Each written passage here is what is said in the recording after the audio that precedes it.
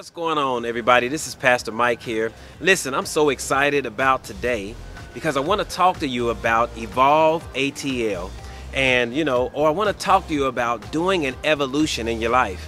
You know, I've been thinking about Evolve ATL uh, or Evolve period for about four years now. You know, one day I was sitting and just really spending some quality time, just really keeping having a conversation with God. I was just being 100 with Him.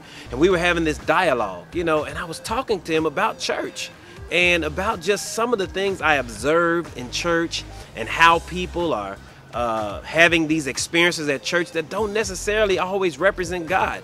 It's so full of religion, it's so full of rules, it's so full of regulations, it's so full of things that actually hurt people and turn them away from from God. You know, some of the things we use to define who God is, to me, it's just not who God is. So as I began to think about these things and talk about these things, God began to talk to me about an evolution how can you evolve church or how can you evolve people's experience with Him?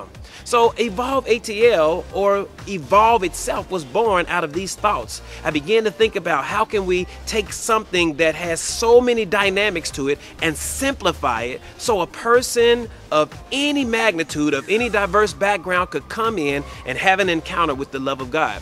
So I began to think about Evolve and I began to write down these ideas and then I began to exchange, you know, with some of my friends and talk to them about it. And then we did some surveys to just kind of hear what people disliked about church. And as a result of that, what you see coming out of us now is the beginning stages of something amazing and it's called Evolve.